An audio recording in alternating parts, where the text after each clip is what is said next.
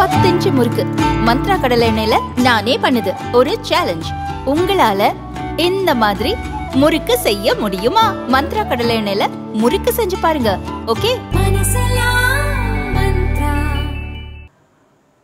மாநாட்டை தொடர்ந்து கட்சியின் மறுசீரமைப்பு நடவடிக்கைகள் மேற்கொள்ளப்படும் என்று ஏற்கனவே அறிவித்திருந்தோம். மாநாட்டில் நிறைவேற்றப்பட்ட தீர்மானங்களை விலக்கி மாவட்டந்தோறும் மகளிர் அணியினரை திரட்டி தீர்மான விளக்க பொதுக்கூட்டங்களை நடத்துவது என்றும் நாம் தீர்மானித்திருந்தோம். அதன் அடிப்படையில் மாவட்ட செயலாளர்கள் ஒருங்கிணைந்த மாவட்டத்திற்கு ஒரு கூட்டம் என்கிற அடிப்படையிலாவது குறைந்தது ஒருங்கிணைந்த மாவட்டத்திற்கு ஒரு கூட்டம் அரங்க கூட்டம் மாநாட்டு தீர்மான விளக்க கூட்டம் மகளிர் விடுதலை இயக்கம் மற்றும் விடுதலை சிறுத்தைகள் கட்சி ஒருங்கிணைந்து ஏற்பாடு செய்ய வேண்டும். மாவட்ட செயலாளர்கள் மற்றும் இதர பொறுப்பாளர்கள் அந்தந்த பகுதியில் செயல்பட்டு கொண்டிருக்கிற மாநில பொறுப்பாளர்கள் இது தொடர்பாக கூடி முடிவு செய்ய வேண்டும். ஏற்கனவே நாம் வெளியிட்டிருக்கிற தீர்மானங்களை துண்டறிக்கைகளாக அச்சிட்டு ஒவ்வொரு மாவட்டத்திலும் விநியோகம் செய்ய வேண்டும். கிராமம் கிராமமாக சென்று கொடுக்கக்கூடிய வகையிலே துண்டறிக்கை வடிவத்தில் அச்சிட்டு அவற்றை வழங்கிட வேண்டும். அந்த தீர்மானத்தில் கடைசியாக ஒன்றை சுவாமி வைகுண்டர் குறித்து சொன்ன தீர்மானம் என்னுடைய முகநூலில் இன்று பதிவேற்றம் செய்யப்படும். அதனையும் நீங்கள் இணைத்து கொள்ள வேண்டும் என்று கேட்டுக்கொள்கிறேன். அதனையொட்டி ஒரு ஒன்றியத்திற்கு ஒரு மது ஒழிப்பு மகளிர் குழுவை நியமிக்க வேண்டும். இது மாவட்ட செயலாளர் உள்ளிட்ட மாவட்ட நிர்வாகிகளின் பொறுப்பு என்பதையும் மீண்டும் நினைவூட்ட கடமைப்பட்டிருக்கிறேன்.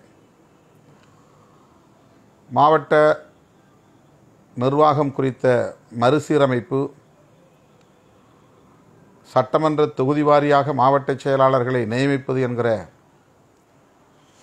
ஒரு நிலைப்பாட்டை உயர்நிலைக் குழுவிலே எடுத்து பின்னர் மாவட்ட செயலாளர்களின் கூட்டத்திலும் அதற்கான ஒப்புதலை நாம் பெற்றிருக்கிறோம். தமிழ்நாட்டிலேயே முதன் முதலாக ஒரு சட்டமன்ற தொகுதியை ஒரு மாவட்டம் என்று முடிவு செய்து அதனை நடைமுறைப்படுத்தப் போகிற இயக்கம் விடுதலை சிறுத்தைகள் கட்சி. காலம் காலமாக பின்பற்றப்பட்டு வருகிற மரபு சார்ந்த நிர்வாக முறையிலிருந்து சற்று விலகி கட்சியின் கட்டமைப்பை மென்மேலும் வலுப்படுத்துவதற்கு ஏதுவாக அதிகாரத்தை கட்சி நிர்வாக அதிகாரத்தை பரவலாக்க வேண்டும் என்கிற நோக்கத்தின் அடிப்படையில் இந்த முடிவை நாம் எடுத்திருக்கிறோம். கட்சியை மறுசீரமைக்கும் போதெல்லாம் இப்படி புதிய புதிய முயற்சிகளை நாம் மேற்கொண்டு நடைமுறைப்படுத்தி வந்திருக்கிறோம். அதில் ஏற்பட்டிருக்கிற அனுபவத்தை கொண்டு அவ்வப்போது சில மாற்றங்களையும் நாம் செய்திருக்கிறோம். அந்த வகையில்தான் ஓராண்டுக்கு முன்பு நாம் நூற்றி நாற்பத்தி நான்கு மாவட்ட செயலாளர்கள் என ஒட்டுமொத்த தமிழகத்தையும் கட்சி மாவட்டங்களாக நாம் பிரித்திருக்கிறோம். வருவாய் மாவட்டம் முப்பத்தி எட்டு தான் என்றாலும் கட்சி மாவட்டங்கள் நூற்றி நாற்பத்தி நாலு. இரண்டு சட்டமன்ற தொகுதிகள் கொண்ட ஒரு மாவட்டம் என்கிற அடிப்படையில் சில மாவட்டங்களை பிரித்திருக்கிறோம். இரண்டு தாலுக்காக்களை கொண்ட அதாவது வட்டம். இரண்டு தாலுக்காக்களை கொண்டது ஒரு மாவட்டம் என்கிற அடிப்படையிலும் நாம் கட்சி மாவட்டத்தை வரையறுத்திருக்கிறோம். இரண்டு ஒன்றியங்களை ஒரு மாவட்டம் என்கிற அடிப்படையில் சில மாவட்டங்களை வரையறுத்திருக்கிறோம். ஐம்பதுக்கும் மேற்பட்ட வார்டுகளை கொண்ட மாநகரங்களை இரண்டாக பிரித்து மாநகர் மாவட்டங்களை கட்சி மாவட்டங்களாக பிரித்திருக்கிறோம். இதன் அடிப்படையில் தான் நமக்கு நூற்று நாற்பத்தி நான்கு மாவட்ட செயலாளர்களை நியமிக்க வேண்டிய ஒரு தேவை உருவானது. அதிலும் நாம் புதிதாக இன்னொரு முயற்சியையும் கையாண்டிருக்கிறோம். முயற்சியை மேற்கொண்டு அதை நடைமுறைப்படுத்தி இருக்கிறோம் பத்து சதவீதம் பெண்கள் பத்து சதவீதம் தலித் அல்லாத தோழர்கள் ஒட்டுமொத்தத்தில் இருபத்தைந்து விழுக்காடு நாற்பத்தைந்து வயதுக்கும் கீழே உள்ள இளம் தலைமுறையினர் ஆண் பெண் ஆகிய இரு பாலினத்தை சார்ந்த இளம் தலைமுறையினருக்கான வாய்ப்பு என்று கட்சி அதிகாரத்தை அடுத்த தலைமுறையினருக்கும் தலித் அல்லாத ஜனநாயக சக்திகளுக்கும் பரவலாக்கம் செய்ய வேண்டும் என்கிற அடிப்படையில் விடுதலை சிறுத்தைகள் கட்சியிலே முதன்முறை முதல் முயற்சியாக நாம் மேற்கொண்டு அதை நடைமுறைப்படுத்தி இருக்கிறோம் பொதுவாக ஒருவர் மாவட்ட செயலாளராக அறிவிக்கப்பட்டால் குறைந்தது மூன்று ஆண்டுகள் அந்த பதவியிலே அவர்கள் இருக்க வேண்டும் என்பது நம்முடைய நிலைப்பாடு. நீண்ட காலம் அப்படித்தான் அதை நடைமுறைப்படுத்தி வருகிறோம். எந்த ஒரு நிர்வாகத்தையும் ஒரு ஆண்டுக்குள் அல்லது இரண்டு ஆண்டுக்குள் நாம் கலைத்ததில்லை. மூன்று ஆண்டுகளுக்கு மேல் ஐந்து ஆண்டுகள் வரையிலும் கூட ஒரு மாவட்ட செயலாளர் நியமனம் செய்யப்பட்ட பிறகு அந்த பொறுப்பிலே இருந்து களப்பணி ஆற்றியிருக்கிறார்கள். அந்த வகையிலே இப்போது நாம் ஒன்றரை ஆண்டுகள் தான் ஆகிறது. மீண்டும் மறுசீரமைப்பை மேற்கொள்ள இருக்கிறோம். அதற்கு காரணம் இன்னும் ஒன்றரை ஆண்டுக்குள் அடுத்து சட்டமன்ற தேர்தல் வருகிறது. இந்த சட்டமன்ற தே சட்டமன்ற தேர்தலை மனதில் வைத்து இந்த திருத்தங்களையும் இந்த நிர்வாக மறுசீரமைப்பு நடவடிக்கைகளையும் நாம் மேற்கொள்ள வேண்டும் என்கிற நிலைப்பாட்டை எடுத்திருக்கிறோம். ஆகவே இந்த நூற்றி நாற்பத்தி நாலு மாவட்ட செயலாளர்களையும் மூன்றாண்டுகள் இன்னும் பணி செய்யாத நிலையிலே அவர்களை தக்க வைத்துக் கொள்வது சில காரணங்களால் தவிர்க்க முடியாத காரணங்களால் ஒரு சிலர் அதில் விடுபட நேரும் அவர்களை தவிர்த்து. சில காரணங்கள் புகார்களின் அடிப்படையிலான காரணங்கள். சிலரை அந்த பொறுப்பிலிருந்து விடுவிக்க வேண்டிய தேவை இருக்கும். அப்படி ஒரு சில மாவட்ட செயலாளர்கள் நிர்வாக எல்லையினால் ஏற்படுகிற சிக்கல் புகார்களின் அடிப்படையில் செயலற்ற நிலையில் உள்ள மாவட்ட செயலாளர்களை விடுவிக்க வேண்டிய நெருக்கடி ஆகியவற்றின் அடிப்படையில் சிலரை நாம் அந்த பொறுப்பிலிருந்து விடுவிக்கும் நிலை உண்டு. பெரும்பாலும் இந்த மாவட்ட செயலாளர்கள் தொடர்ந்து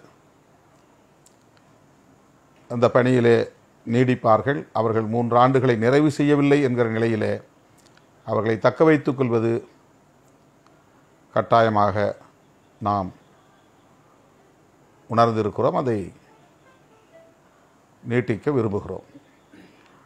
இப்போது நாம் சட்டமன்ற தொகுதி வாரியாக மாவட்ட செயலாளர்களை நியமிப்பது என்கிற அடிப்படையில் உயர்நிலைக் குழுவில் எடுத்த நிலைப்பாட்டை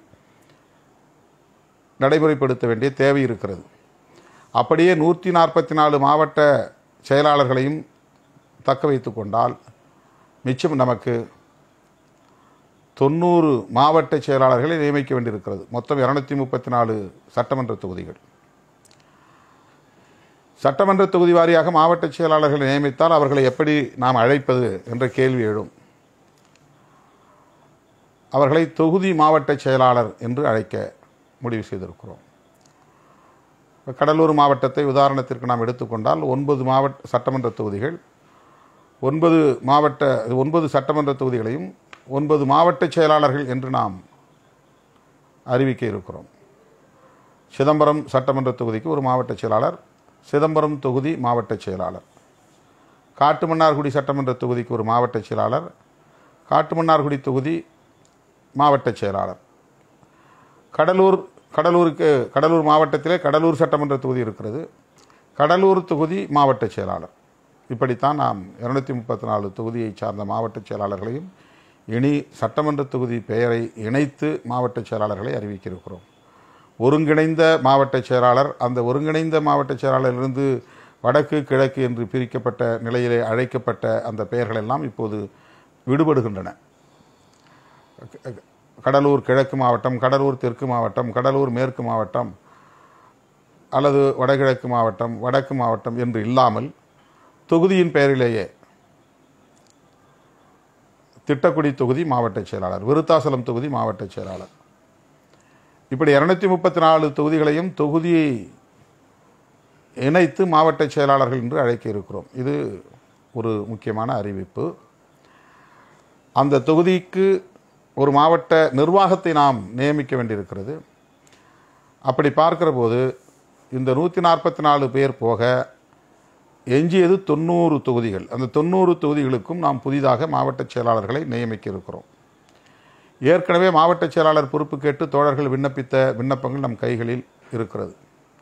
மாவட்ட பொருளாளருக்கான பொறுப்புகளுக்கு விண்ணப்பித்திருக்கிறீர்கள். மாவட்ட துணை செயலாளர்களுக்கும் செய்தி தொடர்பாளர் பொறுப்புகளுக்கும் துணைநிலை அமைப்புகளை சார்ந்த பொறுப்புகளுக்கும் நாலாயிரத்துக்கும் மேற்பட்ட தோழர்கள் விண்ணப்பம் செய்தது நம்முடைய அலுவலகத்தில் இருக்கிறது இருப்பில் உள்ளது. அதிலிருந்தும் நாம் ஆட்களை தேர்வு செய்ய இருக்கிறோம். கடந்த முறை விண்ணப்பம் பெற்றபோது விண்ணப்பிக்க தவறிய தோழர்கள் இப்போது விண்ணப்பிக்க விரும்பினால் நீங்கள் விண்ணப்பம் செய்யலாம். அதற்கு நாம் இதற்கென மாவட்ட வாரியாக குழுக்களை நியமிக்க இருக்கிறோம். ஒருங்கிணைந்த மாவட்டத்திற்கு ஒரு குழு அல்லது ஒரு ஒரு மாவட்டத்தில் இரண்டு அல்லது மூன்று குழுக்கள் என்று மேலிட பொறுப்பாளரோடு சேர்ந்து அந்த பகுதியை சார்ந்த நிர்வாகிகளையும் இணைத்து மறுசீரமைப்பு குழு. அவர்கள் உங்களை நேரிலே வந்து சந்திப்பார்கள். உங்கள் பகுதிக்கே வருவார்கள். புதிதாக விண்ணப்பம் செய்ய விரும்புகிறவர்கள் ஏற்கனவே விண்ணப்பித்தவர்கள் கட்டணம் செலுத்தியிருப்பீர்கள். தமிழ்மண் சந்தா மட்டும். இப்போது புதிதாக விண்ணப்பிக்க விரும்புகிறவர்கள் தமிழ்மண் சந்தா இரண்டாயிரம் டிடி எடுத்து விண்ணப்பத்தோடு இணைத்து தர வேண்டும். தமிழ்மண் சந்தா பட் பல பத்தாண்டுகளுக்கு முன்பு செலுத்தியதோடு சரி அதனால் இப்போது தமிழ்மண் யாருக்கும் அனுப்ப இயலாத நிலை உள்ளது. புதிதாக சந்தாதாரர்களை நாம் சேர்க்க வேண்டிய கட்டாயம் எழுந்துள்ளது. ஆகவே நீங்கள் சந்தா செலுத்திய பிறகு தமிழ்மண் வழக்கம் போல உங்கள் இல்லம் தேடி உங்கள் முகவரிக்கு வந்து சேரும். தொடர்ந்து அந்த இதழை நாம் நடத்த வேண்டிய தேவை உள்ளது. கொரோனாவுக்கு பிறகு அந்த எண்ணிக்கை மிகவும் குறைந்து விட்டது. மேலும் அதை நிர்வாகம் செய்வதற்கு பொருளாதார நெருக்கடியும் இருக்கிறது. ஆகவே தோழர்கள் இது தமிழ் மண்ணுக்கான சந்தா. இரண்டாயிரம் ரூபாய் டிடி எடுத்து விண்ணப்பமும் இணைத்து தர வேண்டும். உங்களை தேடி வருகிற குழுவிடம் அதை ஒப்படைக்க வேண்டும். துணைநிலை அமைப்புகளுக்கான விண்ணப்பங்கள் மாநில பொறுப்புகளுக்கான விண்ணப்பங்கள் கூட இந்த குழுவிடம் நீங்கள் ஒப்படைக்கலாம். அதை நாம் வகைப்படுத்தி பின்னர் அதை பயன்படுத்தி கொள்ள வாய்ப்பு இருக்கிறது. அதிலிருந்தே தோழர்களை தேர்வு செய்ய முடியும். இப்போது மாவட்ட நிர்வாகம் எப்படி இருக்கும்? அதை உங்களுக்கு சொல்ல கடமைப்பட்டிருக்கிறோம். மாவட்ட நிர்வாகம் இப்போ பிரிக்கப்பட்ட சட்டமன்ற தொகுதி வாரியான மாவட்ட செயலாளர் அதான் தொகுதி மாவட்ட செயலாளர் வழக்கம் போல் மாவட்ட பொருளாளர் மாவட்ட துணை செயலாளர்கள் செய்தி தொடர்பாளர் அல்லது ஊடக பொறுப்பாளர். இதில் புதிதாக மாவட்ட நிர்வாகக் குழுவில் மகளிர் மற்றும் இளஞ்சிறுத்தைகள் ஆகியோர் இரு அமைப்புகளின் மாவட்ட செயலாளர் அல்லது மாவட்ட அமைப்பாளர் ஆகியோரும் இடம்பெறுவார்கள். இதில் மாவட்ட துணை செயலாளர்கள் அதாவது ஒரு சட்டமன்ற தொகுதிக்கு ஒரு மாவட்ட செயலாளர் என்கிற போது அந்த சட்டமன்ற தொகுதிக்கு ஒரு மாவட்ட பொருளாளர். அதுதான் அந்த மாவட்ட நிர்வாகம். அதில் துணை செயலாளர்கள் ஒரு சட்டமன்ற தொகுதிக்குள்ளே எத்தனை ஒன்றியங்கள் இருக்கின்றனவோ அரசு ரெவென்யூ அடிப்படையில் அந்த ஒன்றியங்களை நாம் கிழக்கு மேற்கு என்று ஏற்கனவே பிரித்திருக்கிறோம். அதைப் போல பிரித்து பிரிக்கப்பட்ட ஒவ்வொரு ஒன்றியத்திற்கும் ஒரு துணை செயலாளர் அவர் மாவட்ட துணை செயலாளராக நியமிக்கப்படுவார். அந்த ஒன்றியங்களை நாம் பிரிக்கிற போது ஒன்றிய கவுன்சில்கள் அடிப்படையில் பிரிப்போம். இப்போ உதாரணத்திற்கு புவனகிரி ஒன்றியம். புவனகிரி ஒன்றியத்தில் ஒரு பதினெட்டு வார்டு கவுன்சில் இருக்கிறது ஐயாயிரம் ஓட்டு. அதை நாம் ஒன்பது ஒன்பது என இரண்டாக பிரிக்கலாம் கிழக்கு மேற்கு என்று. அப்படி பிரிக்கிற போது அந்த பிரிக்கப்பட்ட பகுதிக்கு ஒரு துணை செயலாளர். அப்போ ரெண்டு துணை செயலாளர். இன்னொரு ஒன்றியம் இருக்கும் புவனகிரி தொகுதியில். அதை ரெண்டாக பிரித்தா அதில் ரெண்டு பேர். இன்னொரு ஒன்றியம் அரை பகுதி கால் பகுதி என்று இருக்கும்.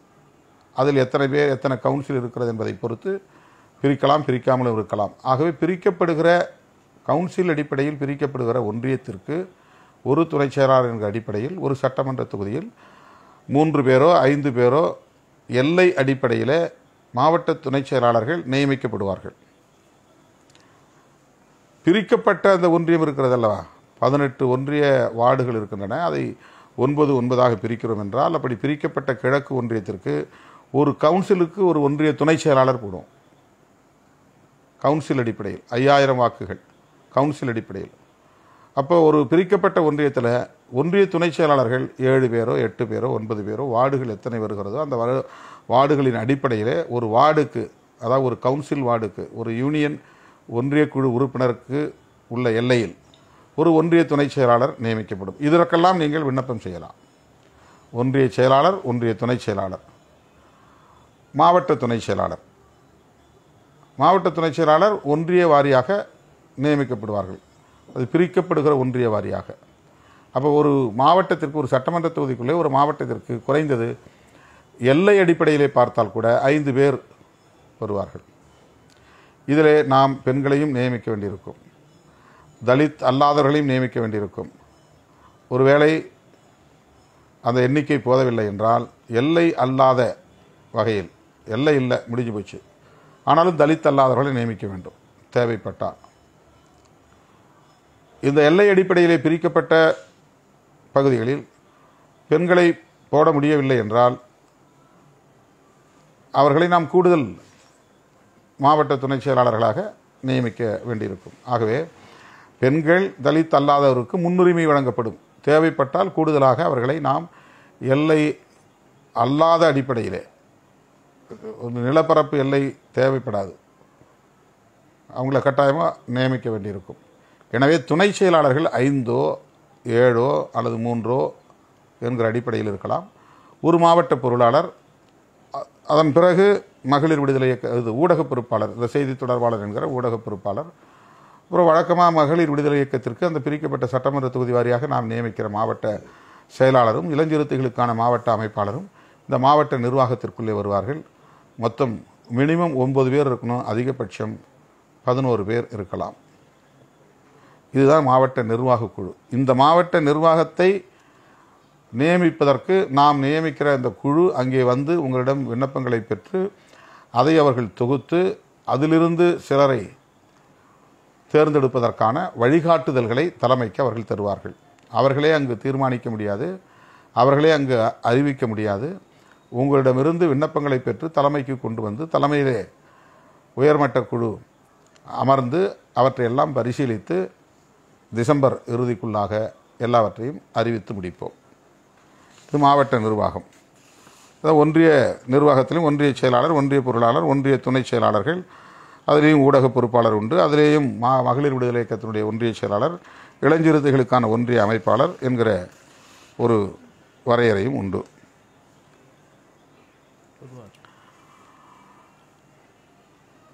இருநூத்தி முப்பத்தி நாலு தொகுதிகளுக்கும் மாவட்ட செயலாளர்கள் பதினைந்து பதினொன்று அதாவது இந்த நவம்பர் பதினைந்துக்குள்ளே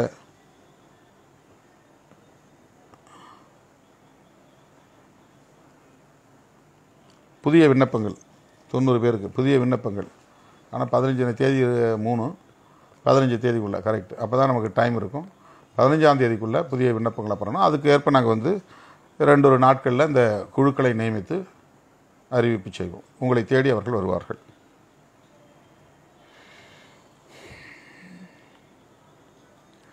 மாவட்ட நிர்வாகத்தை தவிர அணிகள் அதாவது துணைநிலை அமைப்புகள் அதற்கும் ஒன்றியம் நகரம் பேரூர்.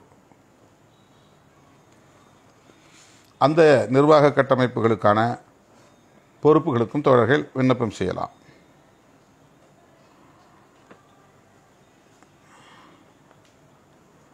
மாநில அளவிலான பொறுப்புகளுக்கும் டிசம்பர் நவம்பர் பதினைந்துக்குள்ளே. மாநில எல்லாத்துமே நவம்பர் பதினஞ்சு. எல்லாமே நவம்பர் பதினஞ்சு. ஏன்னா ரெண்டு மூணு நாளில் கமிட்டியை போட்டுறோம். நவம்பர் பதினஞ்சுக்குள்ளே விண்ணப்பங்கள் கொடுக்குறதுக்கு ஒரு பெரிய விஷயம் இல்லை. ரெண்டாயிரரூவா நீங்கள் டிடி எடுக்கணும். ஏற்கனவே நீங்கள் விண்ணப்பிச்சிருந்தால் திருப்பி விண்ணப்பிக்க தேவையில்லை. ஏற்கனவே நீங்கள் டிடி எடுத்திருந்தால் திருப்பி டிடி எடுக்க தேவையில்லை. ஆகவே மாநில பொறுப்புகளுக்கு ஒன்றிய பொறுப்புகளுக்கு மாவட்ட நிர்வாக பொறுப்புகளுக்கு புதிதாக விண்ணப்பிக்க விரும்புகிறவர்கள் திஸ் நவம்பர் பதினைந்துக்குள் விண்ணப்பிக்க வேண்டும். வெறுமனே வெள்ளை பேப்பரில் எழுதிக்கலாம் ஃபார்மெட் இருந்துச்சுன்னா ஃபார்மெட் கொண்டு வந்து உங்களுக்கு கொடுப்பாங்க. அந்த ஃபார்மெட்டை அச்சிட்டாக்க உங்களுக்கு நேரில் கையில் எடுத்துகிட்டு வருவாங்க அந்த குழுவை சார்ந்தவர்கள். ஒருவேளை ஃபார்மெட் இல்லை அப்படின்னா நீங்கள் வெள்ளை பேப்பரில் எழுதி கொடுத்தா போதும். ஆனால் டிடி கம்பல்சரியாக தமிழ் மண்ணுக்கு எடுத்து தர வேண்டும் என்பதை தெரிவித்துக் கொள்கிறோம். இரண்டொரு நாட்களில் இந்த பொறுப்புகளை நியமிப்பதற்கான குழு நியமிக்கப்படும் என்பதை தெரிவித்துக் கொள்கிறேன்.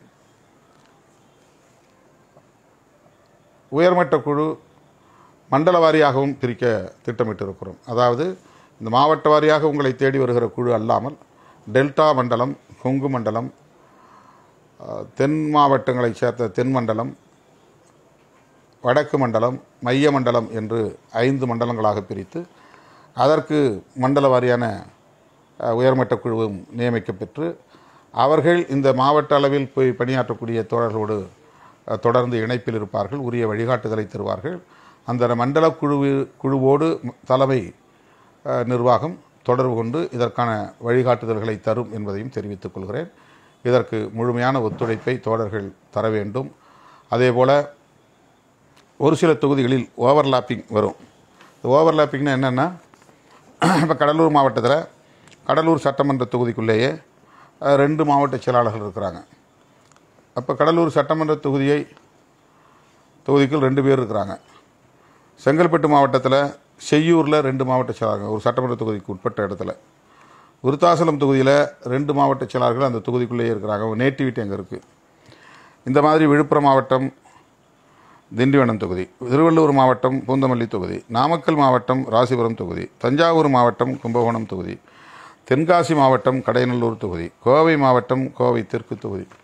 இப்படி ஒரு சில ஓவர்லாப்பிங் இருக்குது இது சம்பந்தமாக என்ன செய்யலாம் என்பது குறித்து கட்சியின் பொதுச் செயலாளர்கள் உள்ளிட்ட தலைமை நிர்வாக பொறுப்பாளர்களோடு கலந்து பேசி அது தொடர்பான அறிவிப்பை இரண்டொரு நாட்களில் செய்வோம். அல்லது உங்களோடு இந்த தொடர்புடைய மாவட்ட நிர்வாகிகளோடு தொலைபேசியில் தொடர்பு கொண்டு உங்கள் கருத்தையும் கேட்டு முடிவு செய்வோம் என்பதை தெரிவித்துக் கொள்கிறேன். அனைவருக்கும் நன்றி.